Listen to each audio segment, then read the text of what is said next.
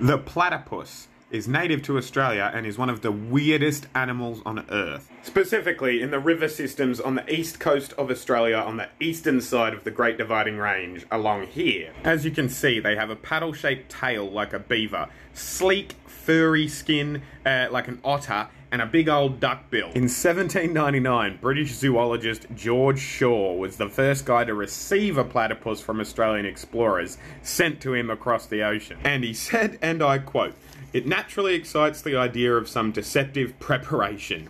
Uh, and he added, of all the mammalia yet known, it seems the most extraordinary. I don't really know how to finish this short, so uh, I'm gonna just tell you the collective noun for a platypus is a paddle.